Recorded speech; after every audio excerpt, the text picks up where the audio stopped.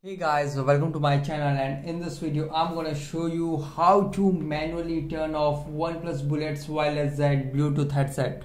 So here you can see currently it is turned on and it is uh, now in pairing mode. Here you can see blue light is blinking. Okay, to manually turn off just uh, press and hold volume up and down key together for a few seconds just like this. And you can see now the blue light stops blinking.